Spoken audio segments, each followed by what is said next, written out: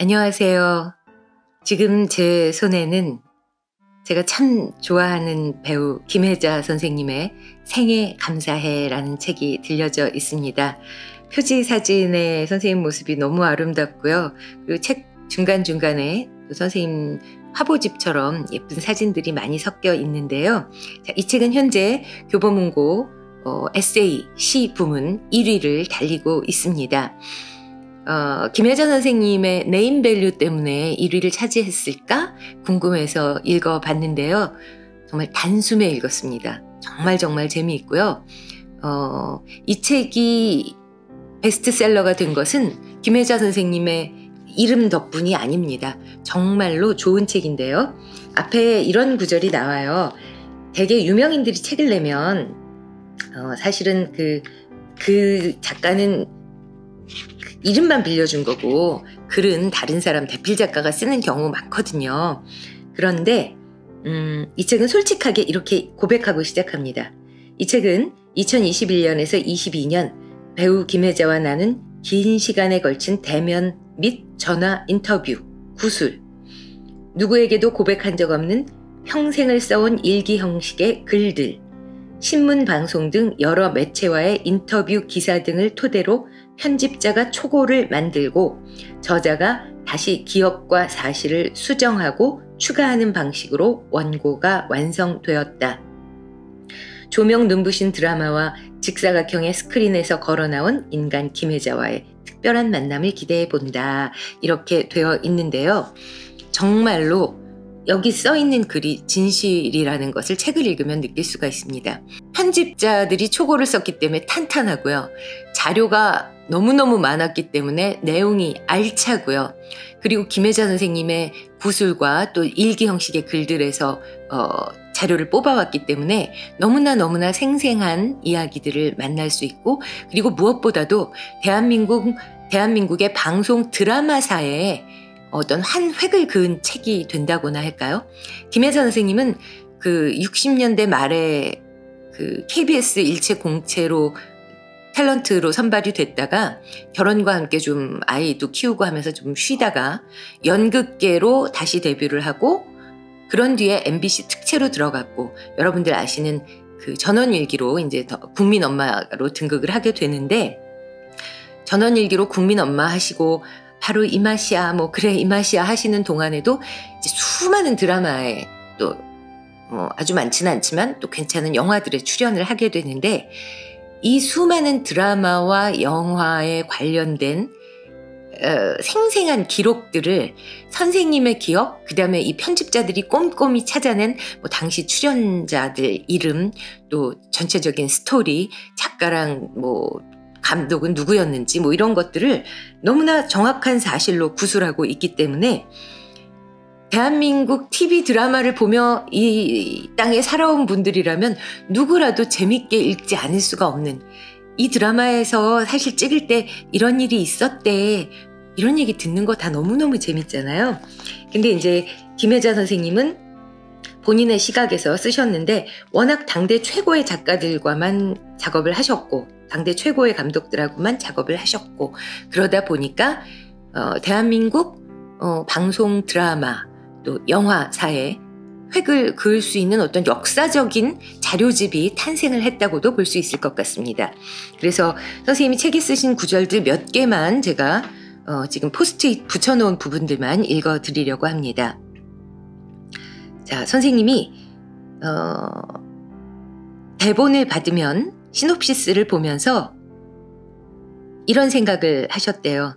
내가 이 역을 맡으면 세상에 무슨 영향을 줄 수 있는가? 김혜자 선생의 아버지는 그 대한민국 첫 번째 뭐 재, 재경부 장관이었다나 아무튼 엄청난 분이었어요. 대한민국의 두 번째 경제학 박사였대요. 미국에 다녀온. 근데 이 딸이 배우를 하겠다고 했을 때 그 당시 분위기로는 반대해야 마땅한데 굉장히 기쁘게 어, 적극 지원을 해주시면서 네가 연기자가 할 수 있는 게 무슨 대학 교수가 할 수 있는 것보다 더 많다. 좋은 연기로 세상에 어, 좋은 그 에너지를 전달하거라. 뭐 이런 말씀을 주셨다고 합니다. 자, 제 얘기보다는 본문 내용 듣기를 더 원하시겠죠? 계속 읽겠습니다. 내가 맡은 배역이 아무리 인생의 속박에서 고통받는 역이라 해도 그 속에 바늘귀만한 희망이 보이는가? 그것이 내가 작품을 선택하는 기준이었습니다. 주인공이 삶의 밑바닥을 헤매어도 그곳에 희망이 있나? 그 희망을 연기할 구석이 있나? 내일의 이야기가 혹은 그 다음이 보이는가? 끝없는 절망 속에서 이 여자가 죽음을 그냥 선택해버리나? 아니면 아무리 힘든 상황 속에서도 한 줄기 빛이 어디엔가는 있나? 그런 것을 찾고 그것을 연기하려고 노력했습니다. 어, 나는 가끔 죽음에 대한 생각을 합니다. 얼마 전 강수연 배우의 갑작스러운 죽음에 대한 소식을 듣고 속으로 잘가 하고 말했습니다. 강수연이 생전에 김혜자, 윤정희 같은 배우가 되고 싶다고 늙어서 집으로에 나오는 할머니 같은 역을 해보고 싶다고 말한 기사를 읽은 적이 있습니다. 어릴 때부터 우리나라를 빛낸 배우였습니다.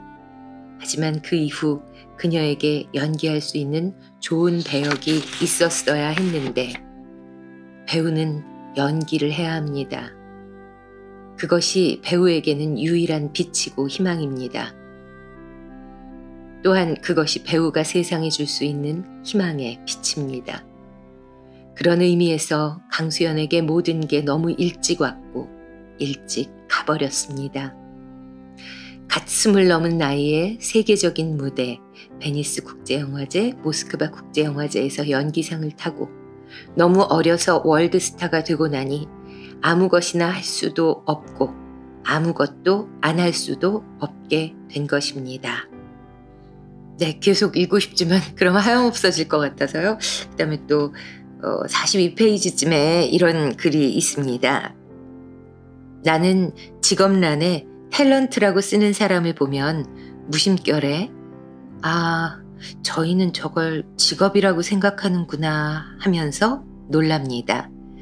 아주 어렸을 때부터 연기를 해와서 그런지 나는 연기가 직업이라고 생각해 본 적이 한 번도 없습니다. 직업이라고 하면 왠지 자존심이 상합니다. 마더의 엄마가 아들 도준한테 너는 나야 하듯이 연기는 나입니다. 숨 쉬는 것처럼. 네. 아, 김혜정 선생님이 책 속에 하신 얘기 중에 한 15% 정도? 30% 정도는 어, 제가 그걸 일부러 찾아서 봤는데요. 그 유재석 씨가 진행하는 유키즈 온 더 블럭? 네, 거기에 나와서도 풀어 놓으셨더라고요. 근데 거기 나오는 이야기들의 그 더 깊이 있는 아, 앞뒷 이야기가 이 본문에 담겨 있기 때문에 꼭 한번 읽어 보시기를 권합니다. 어, 김혜정 선생님한테는 수많은 작품들이 가슴 속에 남아 있지만 그 중에서도 몇몇 작품들은 정말 잊으실 수가 없었나 봐요. 그래서 그 중에서도 어, 김정수 작가, 전원일기 초반에는 차범석 선생이 대본을 쓰셨지만 이제 연로하셔서 김정수 작가에게 넘어왔는데 순한 맛에 그러면서도 어, 정말로 인류 전 인류가 배워야만 할 어떤 묵직한 가르침을 주는 그러면서도 재미난 드라마를 쓰는 정말 어, 놀라운 작가분이었죠. 이 김정수 작가 그리고 또 어, 막 폐부를 찌르는 요즘은 작품 활동이 뜸한데 김수현 작가 사랑이 뭐길래가 1996년인가 중국에 상륙을 해서 사실 첫 번째 한류 드라마의 포문을 열었다고 볼 수 있습니다. 제가 그 즈음에 중국에 있었는데 중국 사람들이 정말 그 드라마 재밌게 봤거든요. 근데 뭐 아무튼 김수현 작가 이 두 분과 했던 드라마들 쫙 소개하고 그때그때 느낌 이런 것들 막 얘기를 하는데요. 너무 재미있었어요. 그러다가 이제 눈이 부시게 라는 드라마 저는 이 드라마를 못, 보는, 못 봤는데 꼭 다시 볼 생각입니다. 여기에 마지막 그 나레이션이 너무 좋았고 백상예술대상 받으실 때 어, 수상 소감으로도 이 부분을 읽으시잖아요. 그래서 제가 다 읽으면 김혜자 선생님처럼 잘 읽지는 못하니까 그 나레이션 부분 앞뒤만 좀 짧게 또 소개를 해드릴게요. 본문 112페이지입니다. 대본을 쓴 어, 이남규 김수진 작가에게 허락을 받아 옮깁니다. 나레이션 녹음을 위해 수십 번 읽고 시상식을 위해서도 반복해 읽었지만 다시 읽어도 참 좋은 글입니다. 내 삶은 때론 불행했고 때론 행복했습니다. 삶이 한낱 꿈에 불과하다지만 그럼에도 살아서 좋았습니다. 지금 삶이 힘든 당신, 이 세상에 태어난 이상, 당신은 이 모든 걸 매일 누릴 자격이 있습니다. 대단하지 않은 하루가 지나고 또 별거 아닌 하루가 온다 해도 인생은 살 가치가 있습니다. 후회만 가득한 과거와 불안하기만 한 미래 때문에 지금을 망치지 마세요. 오늘을 살아가세요. 눈이 부시게. 당신은 그럴 자격이 있습니다. 네. 김혜자 선생님의 낭독으로 들으셔야 했는데 아무튼 이 책에 그 구절이 있었기 때문에 제가 소개해드리지 않을 수가 없었습니다. 그 다음에 또 김수현 작가가 이 당시로서는 그러니까 막 순종적인 여성, 현모양처가 모든 여고생들의 장래 희망이던 시절에 김수현 작가가 이런 도끼 어린 대사를 씁니다. 당시에 뭐 시청률이 60% 가까이 갔다고 하는데요. 당시 박근영 씨가 맡았던 변호사 남편 김진형이 이 젊고 예쁜 여자랑 바람이 나가지고 아내 현주, 김혜자 선생님이죠. 그 정말 너무 분이 납니다. 남편이 용서가 안 되는 거죠. 늙고 주름진 자신의 모습이 서글프고 어 그래서 그녀가 거울을 보면서 이를 닦다 말고 달려가서 남편한테 퍼붓는 대사랍니다. 그러니까 김수현 씨의 매력은 이런 거예요. 그 이를 닦다가 달려가는 거예요, 정말. 그, 차인태 씨인가? 그분 이름이 기억이 안 나네. 차이, 그 왜, 분노의 양치질 신처럼 사람이 양치질 하다가 막 화가 치솟을 때 있잖아요. 가족이니까 집안에 함께 있고 억눌러 참고 있던 화가. 그래서 제가 김수현 선생님처럼 할 수는 없지만 그래도 대사 분위기를 느끼실 수 있도록 김수현 씨 대사를 한번 읽어보겠습니다. 양치하다가 달려갔어요. 남편을 향해서 내지릅니다. 그래. 난 이렇게 너한테 다 주고 늙어가는데 넌 나가면 충분한 보수, 인정받는 실력, 몰두할 수 있는 일, 그리고 집에 들어오면 건강한 자식, 수족처럼 시중 잘 들어주는 아내. 그리고 그것도 부족해 정부까지 가졌는데 난 내가 가진 게 뭐야? 난 가진 게 뭐냐고. 결혼하면 자기 여자기만 하면 된다고. 딴 남자 눈길 받는 거 싫다고. 더듬이도 날개도 잘라 가둬놓고 20년 화대 안 주는 잠자리 상대. 월급 안 주는 가정부, 게다가 유모, 그렇게 샅샅이 알뜰하게 파먹고 뜯어먹고 써먹더니 이제 와서 뭐? 난 이제 뭘 붙들고 살아야 돼? 김진현, 말해봐. 우리가 처음 만났을 때부터 내가 이렇게 늙고 초라했었니? 나도 스무 살도 있었고 서른 살도 있었어. 당신은 스무 살 적 그대로인 줄 알아? 나 늙었으면 당신도 늙었어. 나만 늙었어? 난 이제 뭘 붙잡고 살아야 해? 난 그렇게 성실했는데 내 성실은 하늘도 부정할 수 없어. 도저히 용서할 수가 없어. 죽어서 다시 태어나서라도 반드시 갚아줄 거야. 나도 좋은 사람 생기면 당신 몰래 연애할 거야! 네. 가슴 절절한 대사죠. 본문은 이렇습니다. 가슴 절절한 대사입니다. 마치 모노드라마를 하는 것 같습니다. 잘못하면 심파가 될 수 있기 때문에 이 대사에 혼신의 힘을 쏟아 부었습니다. 참고로 말씀드리면 제가 한 게 심파입니다. 대사가 길어도 하나도 어렵지 않았습니다. 내 마음과 똑같았기 때문입니다. 내가 이런 일을 당하면 이렇겠구나 하고 감정을 잡으니까 연기가 저절로 되었습니다. 정말로 내가 그 일을 당한 심정이었습니다. 내 정신으로 한 것이 아니었습니다.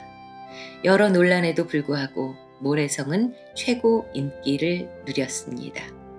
김수현 작가만큼 대사가 신랄하고 회부를 찌르게 표현하는 사람이 없었습니다. 송곳으로 찌르는 것 같습니다. 그래서 싫어하는 사람도 있었습니다. 너무 전곡을 찔러대니까. 하지만 막장이라는 선을 넘지 않으면서 그런 대사를 아무나 쓸 수 있는 게 아닙니다. 치밀한 심리 묘사가 뒷받침되어야 작품으로 승화됩니다. 그래서 전국의 시청자를 텔레비전 앞에 앉게 한 것입니다. 1988년에 방송되었던 드라마 모래성. 안타깝게도 그때 저는 너무 어려서 이 남편의 불륜을 다룬 드라마에 관심이 없었기 때문에 당시에 그 김혜자 선생님의 놀라운 연기를 직접 보지는 못했는데요. 음, 아무튼 이렇게 책 속에 선생님의 기억에 남는 대사들이 왕왕 소개되어 있는데 그런 것들을 읽는 재미도 또 쏠쏠합니다. 끝으로 봉준호 감독이 쓴 김혜자 선생님에 대한 평, 책 뒷날개에 있는 글인데요. 읽어드리면서 마무리하도록 하겠습니다. 30대 끝자락이던 때 혜자님과 산으로 들로 긴 여행을 다녔습니다. 영화 마더 촬영지가 전국에 흩어져 있었던 덕분이었는데 그만큼 저나 촬영감도 프로듀서 모두 아름다운 로케이션 찾기에 한껏 욕심을 낸 작품이었습니다. 그러나 막상 완성된 영화를 보았을 때 모두가 단번에 깨닫고 말았습니다. 이 영화 최고의 풍광은 무엇보다도 혜자님의 얼굴 그 자체라는 것을. 수십 년간 수많은 사람이 칭송해온 혜자님의 명연기에 대해 제가 굳이 어떤 말을 덧붙일 필요는 없겠지요. 다만 그 놀라운 섬광 같은 순간들이 필름에 담겨지기도 전에 이 세상 누구보다 가장 먼저 맨눈으로 목격했다는 것은 저에게 분명 크나큰 행운이었습니다. 저는 또 한 번의 행운을 기다리고 있습니다. 혜자님의 눈빛에 어울리는 맑고 깊은 이야기를 써낼 수 있기를 꿈꾸면서 말입니다. 봉준호 여기서 폼나게 끝내고 싶었는데요.